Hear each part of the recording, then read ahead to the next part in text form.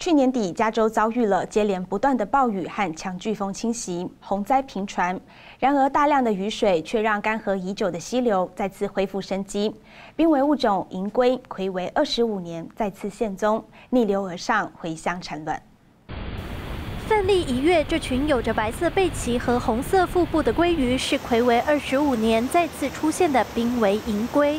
加州去年底接连不断的强飓风侵袭和频繁强降雨，意外让银龟再次于原产卵地现踪。许多登山民众特别驻足于溪流旁，观看这难得的景象。We've seen fish in places that they haven't been for almost 25 years.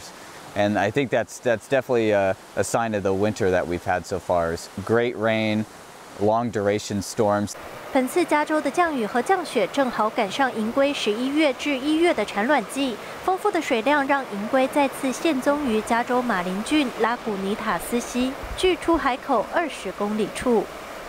根据美国国家气象局资料显示，加州去年十月至十二月的降水量比过去一年的总降水量还多。然而，这波降水可能只是加州已持续二十年干旱的一次喘息。